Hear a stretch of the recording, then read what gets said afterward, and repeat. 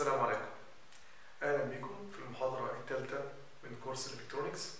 في المحاضرة دي هنبدأ نحلل حركة الإلكترون في المرحلة الثانية من ال cathode ray tube ألا وهي المرحلة اللي بيمر فيها الإلكترون ما بين ال deflection plates. بمعنى أدق ال vertical deflection plates.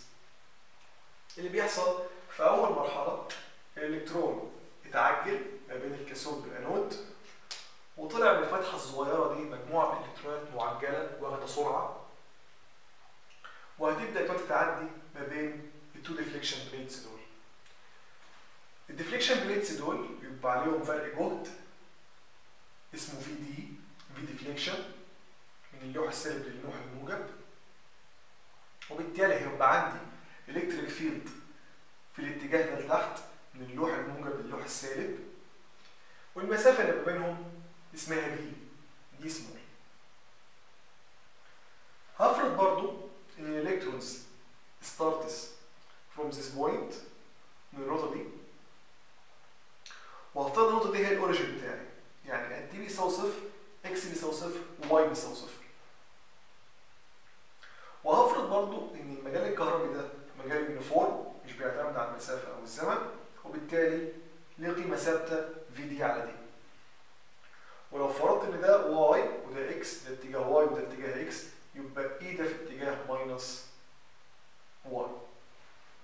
وال X E ده متقسم في اتجاه minus Y طيب هنا في اختلاف الالكترون لما دخل من لما دخل في المنطقة دي كان واخد سرعه نتيجه التعجيل اللي خده من الانود في المرحله اللي فاتت وكان كل كل الالكترونات ماشيه في اتجاه X يعني كان في سرعه ابتدائيه في اتجاه X السرعه دي ممكن أحسبها؟ آه ممكن أحسبها. أنا عارف من stage 1 إن X ليها علاقة بالزمن بالطريقة بال بال بال بالفورمولا دي وإن ال V السرعه ليها علاقة بالزمن بالفورمولا دي أو ال equation دي.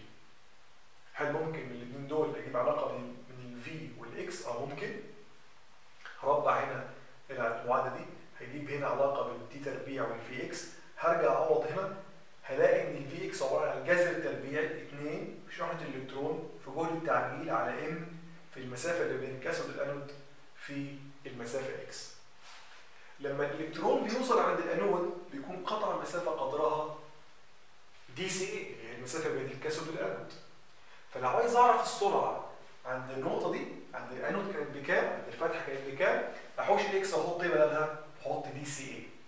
فال D C A تروح مع ال D C A ويفضل في النهاية إن ال V X عند X بيساوي D C A عند الانود بالظبط عباره عن جذر تربيع 2 Q E V A على M طبعا قيمه ثابته 2 ثابت ال Q دي شحنه الإلكترون ثابته ال M ده كل الالكترون ثابته وال V اللي هو جهد التعجيل ما بين الانود والكاثود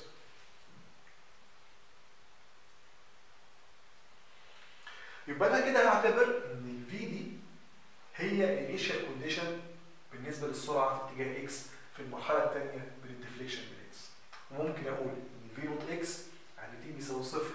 في المرحلة دي عبارة عن جذر تربيع 2 Q 2 Q E V A على اي خلي بالنا الإلكترونات دي كان كلها ماشية في اتجاه X. ما كانش ليها أي مركبة سرعة أو اتجاه في اتجاه Y. وبالتالي V naught Y عند النقطة دي كان ب zero. ما كانش فيه مركبة للسرعه في اتجاه Y طيب الالكترون هيبدا يدخل في المرحله دي هيلاقي ان في جهد راسي واقع عليه وهيلاقي هنا في لوح موجب لفوق فيبدا الالكترون بدل ما يكمل كده على طول في اتجاه X عشان هو واخد سرعه في اتجاه X قدرها V X بالشكل ده هيبدا ينحرف شوية لفوق نتيجه الجهد الموجب اللي فوق ده بمعنى صح إحنا ممكن نقول ان المجال اللوحين دول عمل force في اتجاه y electric force في اتجاه y بتحكم بالعلاقه دي شحنه الإلكترون قيمة المجال في اتجاه المجال. Q قيمة المجال V d على d عشان ده uniform السالب تروح مع السالب يبقى يقعد إن ال F y ثابت في اتجاه ال y يبقى في قوة في اتجاه ال y. عايز تخلي الإلكترون يطلع لفوق طيب اي اي قوه عباره عن كتله في عجله يبقى الكلام ده هيساوي عجله كتله في, في عجله العجله دي في اتجاه y والعجله عباره عن تفاضل السرعة بالنسبة للزمن دي عجله في اتجاه y يبقى في سرعة في اتجاه y. هفاضلها بالنسبة للزمن من الكلام ده والكلام ده لما اساويهم ببعضيهم نلاقي ان ال V y تساوي Q E V d ال deflection voltage على m في ال d المسافة بين اللوحين مضروب في الزمن زائد ثابت اسمه C واحد. طبعا بعد التكامل. ال t بيساوي zero. إحنا قلنا السرعة في اتجاه y كانت بكام؟ كانت بصفر. اعوض هنا يبقى zero بيساوي ثابت في zero. زائد C واحد يبقى C واحد هيطلع بصفر. يبقى دي العلاقة اللي بتحكم السرعة مع الزمن. بعد كده لما أحب أجيب الإزاحة اللي هيعملها الإلكترون في اتجاه y عند أي زمن هاخد السرعة والسرعة أنا عارف إنها بتساوي dy by dt تفاضل المسافة بالنسبة للزمن.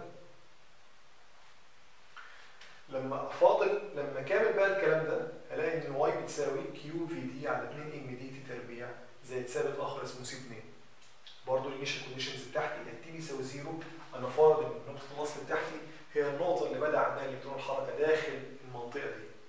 فعند t بيساوي صفر. احداثي y اللي عمل الإلكترون كان بصفر. حتى هذه اللحظة إحنا جبنا السرعة في اتجاه y جبنا المسافة اللي هيمشيها الإلكترون في أو الإزاحة اللي هيمشيها الإلكترون في اتجاه y وجبنا كمان السرعة في اتجاه إكس هي السرعة في اتجاه إكس هي نفسها السرعة اللي دخل بيها الإلكترون مش هتتغير لأن مفيش قوة بتأثر على الإلكترون في اتجاه x فتفضل سرعته زي ما هي منتظمه في اتجاه x اللي هي السرعة دي ال V naught x بتاعته طيب لما أحب أعرف الإزاحة اللي هيعملها في اتجاه x الإلكترون أعمل إيه؟ أنا عارف إن السرعة اللي هي V x اللي بتساوي V naught x عبارة عن تفاضل المسافة بالنسبة للزمن. يبقى dx by dt لما أكامل الطرفين دول يبقى تكامل يبقى تكامل V naught x dt بيساوي تكامل dx. تكامل dx اللي هي ب x وتكامل الكلام ده يديني V naught x في كلام طبعا V naught ده ثابت في القيمة. t زائد ثابت هسميه مثلا C 3 أنا عارف إن t بيساوي صفر x بيساوي صفر الإلكترون كان هنا كده طلعت أربع معادلات ده اللي أنا كنت عايزه معادله لازاحه الالكترون في اتجاه y سرعه الالكترون في اتجاه y سرعه الالكترون في اتجاه x والازاحه بتاعت الالكترون في اتجاه x في المحاضره اللي بعد كده إن شاء الله هنبدأ نجيب معادله الحركة. وده اتكلمنا على معادله حركه يبقى أنا عايز معادله تحدد المسار بتاع الإلكترون. المسار ده شكله إيه؟ parabola circle circle زي ما يكون.